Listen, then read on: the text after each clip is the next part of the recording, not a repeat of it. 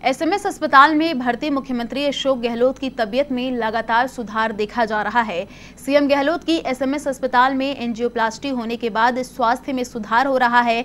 Doctors ने checkup के बाद प्रोटोकॉल के अनुसार ज़रूरी जाँच की। मुख्यमंत्री के स्वास्थ्य को लेकर एसएमएस मेडिकल कॉलेज के प्राचार्य डॉक्टर सुधीर भंडारी ने बताया कि मुख्यमंत्री की एंजियोप्लास्टी के बाद स्वस्थ है। प्रोटोकॉल के अनुसार ईसीजी, अल्ट्रासाउंड, सिटी स्कैन की जाँच की गई। सभी जाँचें नॉर्मल है। फ़िलहाल डिस्चार्ज का समय तय नहीं किया जाएगा।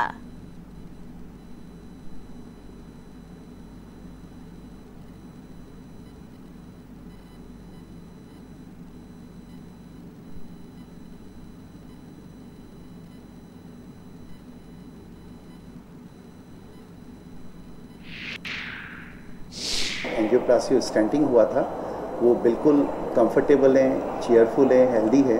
As a part of protocol follow up कुछ प्रोटोकॉल टेस्ट होते हैं, जैसे ईको ईसीजी और भी कोई प्रोटोकॉल टेस्ट होते हैं। फॉर्चुनेटली सारे टेस्ट नॉर्मल हैं, वो बिल्कुल स्वस्थ हैं। आज उनको हम चलाएँगे भी और प्रैक्टिकली ही इज़ नॉर्मल सारी टेस्ट रिपोर्ट्स नॉर्मल हैं और मैं सोचता हूँ कि हर चीज़ अनइवेंटफुल हुई है। हमारी टीम ऑफ़ डॉक्टर्स बहुत डेडिकेटेड है और सब कुछ ठीक चल रहा है।